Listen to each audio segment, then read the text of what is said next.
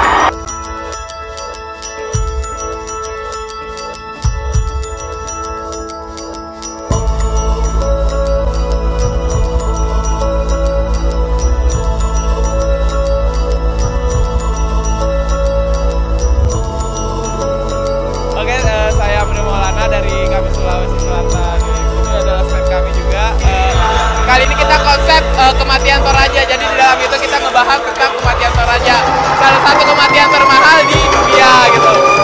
Nah, uh, siapanya